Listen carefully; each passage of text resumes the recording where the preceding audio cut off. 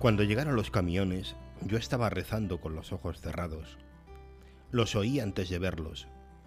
Al levantar la vista vi a los soldados que saltaban desde la parte de atrás de los camiones. Parecían nerviosos, como si quisieran acabar con aquello cuanto antes.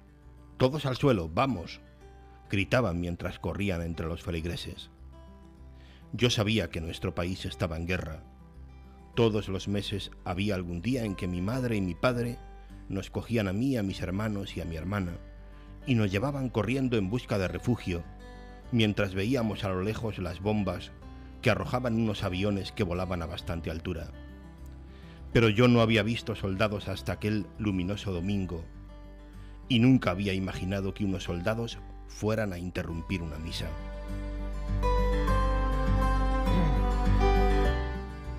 Saludos amigos, bienvenidos. Esto es 49 más, un programa en el que cada semana les hacemos una propuesta literaria, ya lo saben los que nos siguen habitualmente, y a quien nos sigan por primera vez, pues les diremos que pretendemos eso, cada semana, eh, invitarles a leer un libro, acercarse a una historia interesante, procuramos siempre. Y lo hacemos de la mano de un buen amigo que nos acompaña cada semana, que es Antonio Rubio Muga. Bienvenido, Antonio. Muchas gracias, aquí estamos de nuevo. Eh, vamos a invitar hoy a conocer una historia, yo creo que de verdad apasionante. A mí me ha, impresionado conocer esta historia, que es una historia real en este caso, la que hay detrás de este libro, mm, de película, totalmente de, totalmente de película. A mí me parece que, que pues eso, no sé por qué no hay un director al que no se le haya ocurrido hacer una película con esta historia. Correr para vivir, es como se titula, es una biografía. Sí, es una biografía de López Lomón. Mm. La historia de López Lomón, eh, escrita por un tipo que yo desconozco absolutamente, ¿vale? Mm, Tú, yo, y que alguien, yo y me imagino que la mayoría de la gente que nos esté escuchando, que es este Mar que es el que él utiliza, digamos, eh, pues para... Como apoyo. Como apoyo para plasmar su historia, ¿no? Mm, bueno, para quien nos esté escuchando y no sepa nada, ¿quién es López Lomón? Eh, un atleta profesional norteamericano con su título universitario en gestión y, dirección de hoteles, pero que salió de Sudán, de una guerra que hubo en Sudán. Y él tuvo la suerte de poder eh, sobrevivir a esa guerra, como vamos a ir hablando, tuvo la suerte de que una familia norteamericana le adoptara, con 16 años marcha a Estados Unidos y ahí empieza esta historia. Bueno, eh, vámonos a Sudán, vamos a situarnos un poquito, tenemos por ahí algún mapa para ver y situarnos un poco porque me parece que es interesante mm, para comprenderlo todo bien, eso, situar a López Lomón en Sudán, él nace en 1985, eh, Sudán Hoy es una realidad partida totalmente en dos, Sudán del Sur y Sudán del Norte, lo podemos ver en, estos mapas que ofrecemos, pero es que Sudán del Sur, por ejemplo, en sí mismo también es un país absolutamente hoy, ¿eh? destrozado, partido, en guerra permanente. Mm, me parece que, ahí es donde hay que situar. López Lomón nace en Kimotong, que es una localidad de Sudán de, de Sudán del Sur. Efectivamente, él nace ahí en el año 85, eh, cuando se lleva dos años de la Segunda Guerra eh, Civil Sudanesa. La primera duró desde el año 55, 1955 al año 1972. Y después empezó esta guerra en el 83, que eh, fue una de las guerras más largas y con más muertos del siglo XX. Mm. La primera cosa que a mí me impresiona al conocer la historia de, de Kimotong, de, perdón, de López Lobón en, en Kimotong, es que él nace ya en una familia católica. Sí. Estamos hablando de Sudán, donde, como todo el mundo sabe, eh, hoy, a día de hoy, ya no solo en el 85, hoy la Iglesia Católica es una realidad minoritaria, totalmente, como en muchos lugares de África. Pero él tuvo la suerte de que en su poblado hubo misioneros y tuvo la suerte de, que sus padres eh, se hicieron católicos, cristianos católicos, y él perteneció a esa, iba todos los domingos a, la iglesia. Y fue precisamente en la iglesia de su pueblo donde fue secuestrado. Pero antes eh, no olvidemos unas cifras que son un tanto eh, demoledoras. 1.900.000 muertos en esa guerra, 4 millones de desplazados en esa guerra. y los niños eran secuestrados para ser llevados como niños eh, soldados. Efectivamente, se calcula a las ONGs que habría unos 3.000 niños soldados, pero desde entonces se devolvieron, mm, al finalizar la guerra, se pudieron volver a su casa 16.000 niños. Con los cuales estamos hablando de unas cifras completamente desmesuradas para, sí, sí. Creo que bueno, es uno de esos conflictos que mm, ante los que hemos sido totalmente indolentes eh, en Europa. ¿no? Nos ha pillado quizá demasiado lejos. Sí, efectivamente. Y no hemos prestado absolutamente nada de atención. Y claro, en ese contexto, claro, cuando uno ve la grandeza de ese contexto, de esa guerra, es donde, es donde nace López Lomo, en un pueblecito que él va a la iglesia como todos los domingos, y aquel domingo tuvieron la suerte de no acompañar a sus padres y a él, dos hermanos suyos y una hermana. Abrieron la puerta de la iglesia, una choza, y entraron unos soldados y se llevaron a todos los niños que había allí, precisamente para después que fueran niños soldados. Y la arrancaron. Y él llega a decir que ese día, dice, se acabó mi infancia. El día en que me, con seis añitos, en una misa dominical, se le llevaron, con seis años. Mm, pero fíjate, mm, luego hay otro dato que a mí me parece increíble, ¿no? Que es, ya yéndonos a lo que es el campo de concentración, eh, a él se le llevan y le llevan a un campo de sí, concentración, podríamos decir, a un de prisioneros rebeldes lo llaman. Prisioneros, sí. Bueno.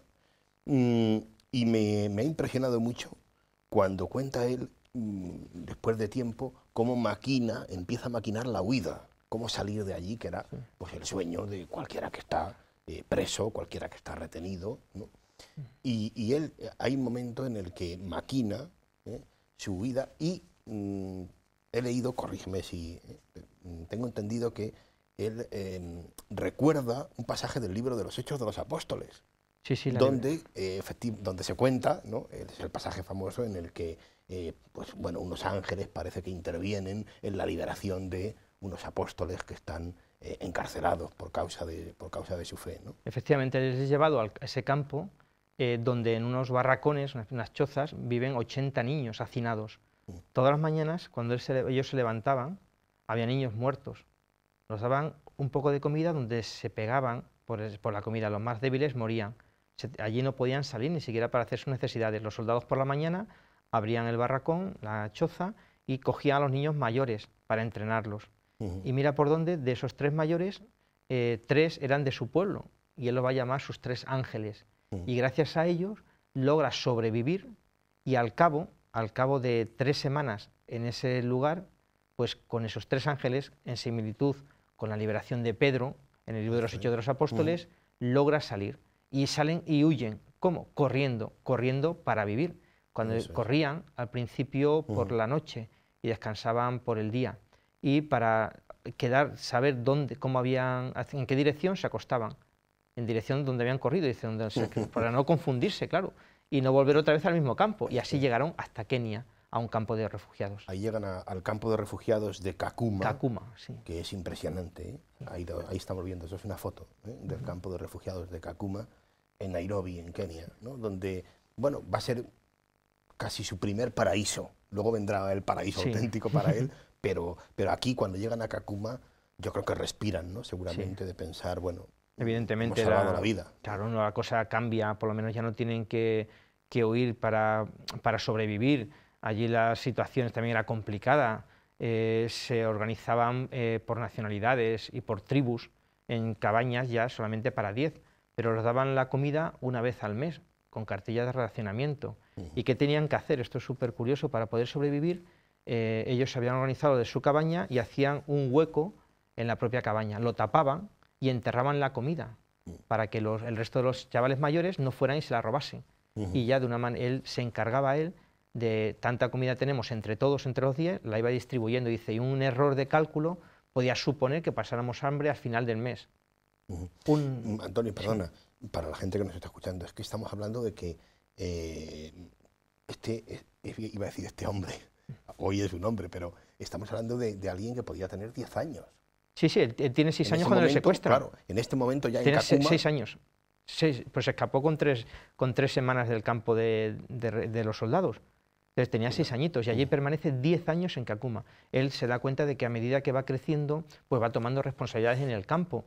No solamente pues el encargado. una vez a la semana, los soldados de Naciones Unidas tiraban los martes el desperdicio a la basura y ellos iban corriendo para recoger los desperdicios de los soldados de Naciones Unidas. Y él, como era pequeñito, dice, ya me dieron una primera responsabilidad.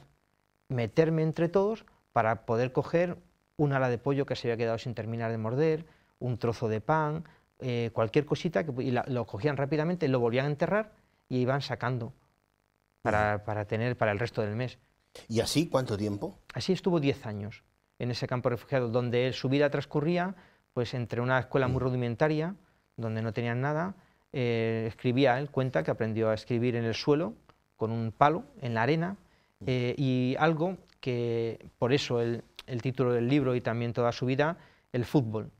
Pero como solamente había un campo para miles de niños, tenían que hacer una cosa muy curiosa para poder jugar al fútbol. Primero tenían que recorrer alrededor del campo de refugiados, la friolera de 30 kilómetros. Ellos corrían, él corría 30 kilómetros y cuando había terminado de correr se ponía a jugar al fútbol. Y ahí, claro, ahí se entiende las capacidades innatas que ya de por sí tenía, que las fue potenciando a lo largo de estos 10 años allí. Bueno, em, y hay un momento entonces, eh, digamos que milagroso, ¿no? Podríamos decir, eh, que es ahí, ¿no? Después de esos 10 años, ¿qué es lo que pasa? Sí, bueno, él como va creciendo, llega un momento, hay dos, mm, dos, momentos importantes eh, en el campo de refugiados. Uno de ellos es cuando un día pues se pone a correr y ve, una, y ve una granja. Una granja está a 8 kilómetros del campo, para él no era nada habla con el señor, tenían prohibido trabajar fuera del campo y, tener remuneración. Mm y él se ofrece para cuidar vacas, porque su padre tenía vacas en su pueblo. Se ofrece, el hombre al principio es un tanto reticente y le accede, accede a, cuidar, a que le cuide las vacas. Y pues al final le termina pagando una moneda, una pequeña, una pequeña moneda, y un día sus amigos del campo de refugiados dicen, vámonos, que hay olimpiadas. Toda la gente sabía que eran las olimpiadas en el año 2000, y él tenía 15 años entonces. Claro, estamos hablando ya de... Las olimpiadas del 2000. Efectivamente, del 2000. Y él ya llevaba allí nueve años en el campo dice, bueno, iremos a ver qué son las Olimpiadas. Dice, y la primera vez que vio una televisión en su vida, hizo una televisión en blanco y negro, justamente era la final de los 400 metros lisos, donde Michael Johnson se retiraba y ganó la medalla de oro. Y dijo, yo quiero ser como él, quiero ser como esa persona. Volvió al campo, se fue desarrollando y al, par de meses eh, llega en la iglesia, por eso él también muy vinculado a la iglesia, el, sacerdote el domingo, él iba todos los domingos, hacía era como la especie de sacristán, de ayudante, en el campo. En el campo de refugiados, que había una, habían llegado unas peticiones de familias de Estados Unidos para eh, adoptar a 3.500 niños del campo de refugiados. Tenían que hacer solamente una cosa, escribir una redacción en inglés. Y él dice, a mí, con todo lo que he vivido, me va a impedir el inglés ese pequeño detalle que se interponga en mi camino para lograr mi sueño y con los amigos que tenía en el campo de refugiados, uno sabía una palabra, otro otro, escribió su redacción. Y la iban poniendo como si fuera la colecta al domingo siguiente, cada uno tenía que, bueno, tuvo que conseguir el papel, que no fue fácil, conseguir un bolígrafo para escribirlo, y en ese inglés tan rudimentario, pues lo tuvo que poner en el cesto como si fuera la ofrenda. La recogieron, lo enviaron y a esperar, y a esperar. Fueron llegando las primeras contestaciones y la suya fue de las últimas, donde efectivamente una familia del norte de Nueva York, de Siracusa, la había adoptado. Y ahí empieza todo, esperar cuando llegaba el momento en que tenía que partir hacia Estados Unidos. Ese, viaje hacia la tierra prometida, lo llama él, y hace también la similitud del pueblo de Israel. Cuando sale a liberarse de la esclavitud, los 40 años, él también. Por eso siempre la clave religiosa en el libro. Emprende un vuelo que le llevan a Nairobi, a la ciudad de Juja, donde allí estuvo seis meses aprendiendo inglés. Pero dice, luego es curioso, dice, porque aprendió un inglés de Inglaterra. Y claro, el acento no era el mismo, pero bueno, le sirvió cuatro entrevistas, seis meses de espera, al Cairo, a Pekín, de Pekín a Nueva York y de Nueva York a Siracusa, donde llegó a la tierra prometida. Y ahí empieza una vida, eh, pues ya de una vida verdaderamente de ensueño para él, ¿no? Pues con una familia que te acoge en un mundo, en el primer mundo ya, y unos estudios también. claro. Estudios. Sí, él tenía esa idea de, ser atleta profesional y su madre, que le adopta, bueno, cuando llega allí el primer día, imagínate, dice, llegamos a un restaurante donde aquello me parecía el paraíso, había todo tipo de comida, y luego pone entre paréntesis, era un McDonald's. el primer, la primera semana se duchaba con agua fría, no sabía que había agua caliente, tuvieron que enseñar absolutamente de todo. Y pues él llegó a América con ese afán de correr en las Olimpiadas, como Michael Johnson, su ídolo que había visto en televisión, pero su madre le dijo también la importancia del estudio. Y entonces eh, el entrenador del cross de su instituto le va a marcar como su primer entrenador y su madre con ese afán de que un chaval que llega sin tener apenas idea de inglés, sin haber estudiado prácticamente nada, con 16 años, logra terminar el instituto en su curso. y, alcanzar, el, y, a la vez compagina estudios con... Eh, digamos, e, el atletismo. ¿no? Sí, él empieza a correr pues, en, el equipo de su instituto, se dan cuenta los ojeadores de este entrenador, le va apoyando de las virtudes que tenía innatas eh, y pues va logrando pequeños triunfos a nivel estatal, incluso a nivel nacional. Y el salto definitivo lo da cuando pues, el tipo de educación americana en las universidades, pues muchas universidades se van a fijar en él para, que sea, para llevársele a su universidad para que formara parte del equipo de atletismo.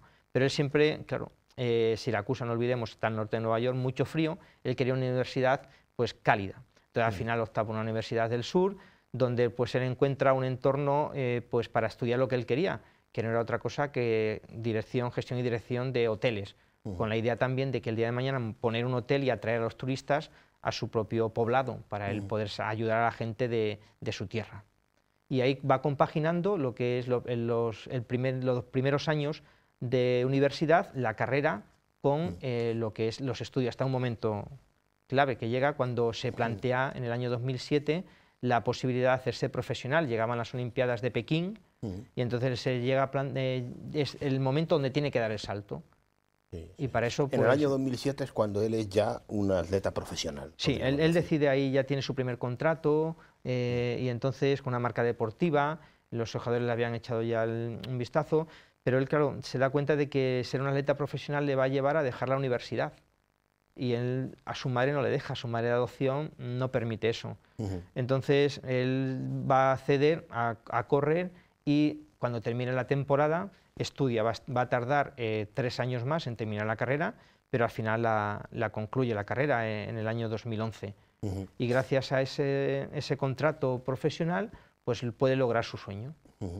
Pero ya digo, pero no solamente cuando hablamos de atleta profesional, no solamente es eso, es que se plantea incluso el tema de las Olimpiadas. Sí, él, algo, él no quería simplemente correr en Estados Unidos. Toda su idea llegar a las Olimpiadas como eh, Michael Johnson. Entonces él se inscribe al principio en su universidad y el, su entrenador va a la Academia del Aire norteamericana y tanto vínculo tenía con él que se le lleva incluso a esa academia donde va a conocer a su futura esposa. Y él va a entrenar allí y llega a ir a, las pruebas preolímpicas donde se lesiona justamente en el momento de la final. Él logra hacer la tercera mejor marca en la prueba de 1500 y va a las Olimpiadas de Pekín en la prueba de 1500 representando porque ya había logrado la nacional norteamericana, al equipo norteamericano. Y eso para él, pues eso, ¿no? Llevar la bandera de Estados Unidos en ese momento debió de ser verdaderamente... Sí, porque ese dato de ser el abanderado, eh, cada delegación, por lo menos en Estados Unidos, eh, baloncesto, atletismo, fútbol, nombran a su propio abanderado. Y luego entre todos, pues eligen uno de ellos. Cuando la gente se entera de la historia, el resto de deportistas se entera de la historia de Lope Lomond, pues todos acceden a que sea el abanderado.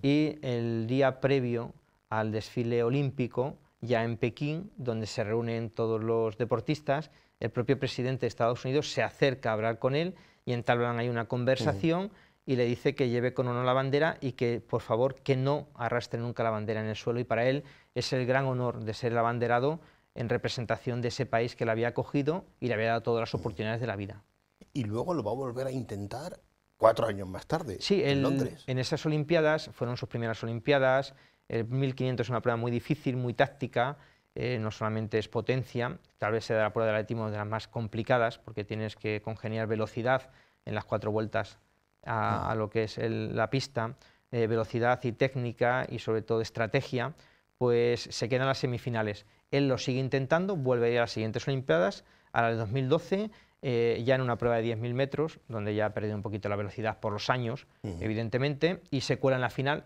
en la final que bueno, ya Mofarat ya es el rey absoluto del 10.000, pero bueno, él hace un, muy honroso décimo puesto. Bueno, yo creo que esta es una historia, eh, como digo, como decía al principio, de película, de película em, que tiene algunas claves que me parece interesante que resaltemos. ¿no? Ha salido el tema del papel de la fe, ¿no? que a él le sirve en muchos momentos clave de su vida. Em, dinos así algunas claves que tú ves en, esta historia, ¿no? a modo de mensaje también. Por ejemplo, el tema de, ese tema de la fe, eh, muy presente, él dice, en una iglesia me arrebataron la vida, la infancia, y en una iglesia volví otra vez cuando le, en la iglesia le pidieron para irse a Estados Unidos.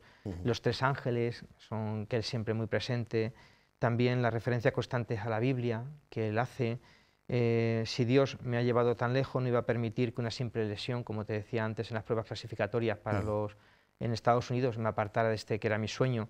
También el espíritu de superación, como una redacción en inglés, algo tan pequeño me va a quitar a mí esa ilusión que tengo y esas ganas. El, en el mismo estudio, ¿cuántos conocemos chavales que tienen todas las oportunidades y no las aprovechan? Y él sin saber absolutamente nada, pues se pone... sin medios de, ningún, tipo, en un campo de refugiados donde no tienes absolutamente nada y acabas escribiendo, leyendo, eh, medio hablando en inglés. Y luego el afán de, superación, una vez que está en Estados Unidos, como no, el primer año, evidentemente, suspende dos, las recupera con un programa que la madre se empeñó con los profesores, le ayudan y al año siguiente ya retoma su curso otra vez normal y aprueba todas eh, a finalizar el año.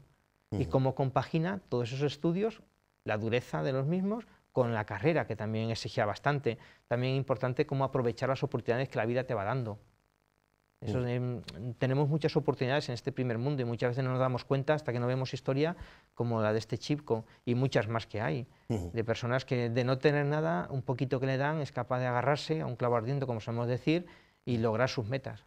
Y el agradecimiento, porque no olvidemos que eh, tú has mencionado en algún momento la fundación que sí, él, a crear. Él tiene una fundación, va, claro, evidentemente él se da cuenta cuando se quiere ser atleta profesional, él ya había vuelto otra vez a, Sudán para conocer a sus padres. Su madre mm. fue al campo de refugiados a buscarle y le dijeron que estaba en Estados Unidos. A través de una llamada telefónica habla con su madre, luego va a verla, claro, le deja con seis años y vuelve ya con 20 años no le conocía, ella era un hombre, pero allí está su familia, y cómo vuelve a su pueblo y su padre organiza una fiesta porque habían hecho y le lleva a la tumba, a su propia tumba. En la cultura de mm. su tribu no podía estar una persona sin enterrar y le habían enterrado con sus pequeñas cositas en, mm. su cementerio.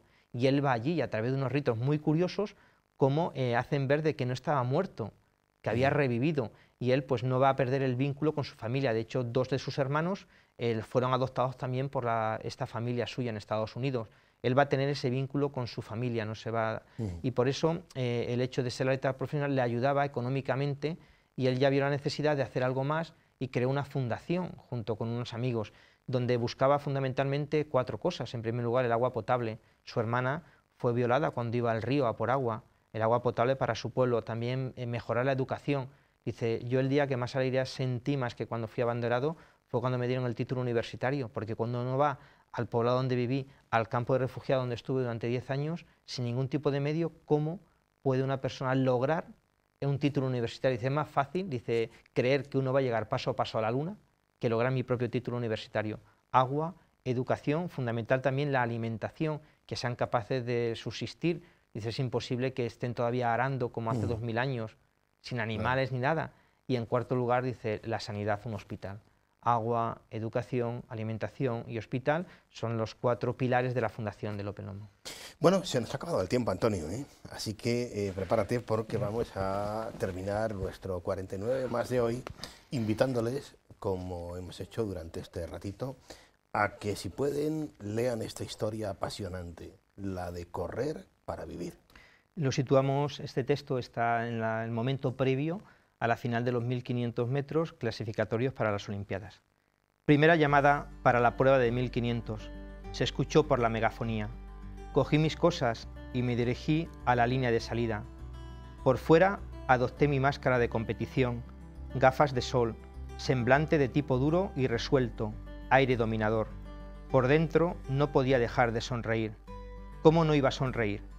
Aunque aquella era la carrera más importante que había corrido hasta entonces, no la corría para vivir. La carrera para salvar mi vida ya la había corrido hacía mucho tiempo, la noche que me escapé con mis tres ángeles. Sabíamos que los soldados rebeldes podían abrir fuego contra nosotros en cualquier momento, y eso nos hacía correr aún más rápido.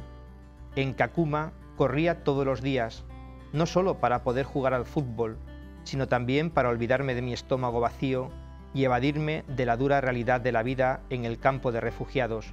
Aquel día iba a correr por el placer de correr. Mi pasado solo me proporcionaba momentos para disfrutar del, momento y decidí disfrutarlo al máximo. Sentía que Dios me había bendecido como a nadie.